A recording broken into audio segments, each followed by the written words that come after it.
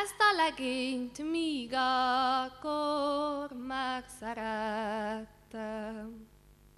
Mikor világ először beszéltem,